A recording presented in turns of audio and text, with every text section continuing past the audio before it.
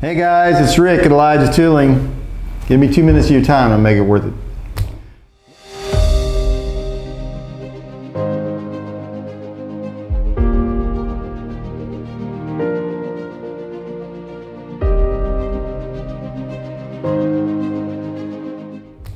Listen, um, we've talked about this little vice a lot, but I want to bring it up again because um, our guys love it. See this? It's not very heavy, um, but it can do a lot of good work for you. It's a rugged device. And I remember how I came to the point that I wanted to develop this in the first place. I was walking through a customer's plant, a large aerospace company, and they pointed over to where they were running a competitor's dovetail vise. Now at the time we didn't have one, but uh, they mentioned that it wasn't very stable. And I thought to myself, you know what, I think we can do better. So what we did is we developed a vise that, that grips more material but creates a much more stable environment for you to use. And uh, what we've found in our own use of this vise is that it's a very robust, very good vise to use. There are some features about it that are unique and make it patent pending.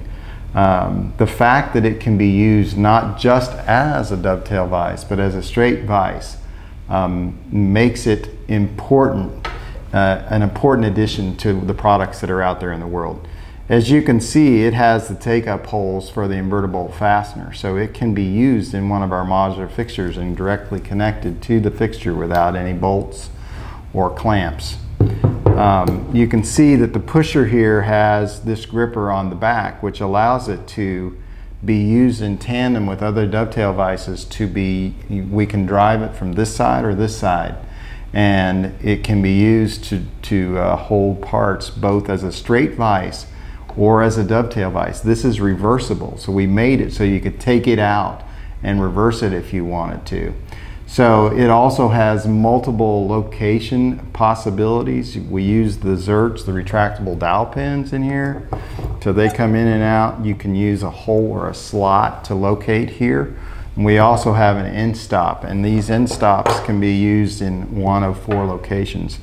The reason we have all those locations is because the vise can be used both here or on the other side. So that's something that's unique about it. What I'm going to do is we're going to marry this, uh, this video up with one in which this part was being machined. So I thought it would be cool just to kind of go through some of the features of this vise, load this part up on there, and then you can uh, watch the video in which this part was being machined. But uh, I think you'll be impressed with the vise. You see.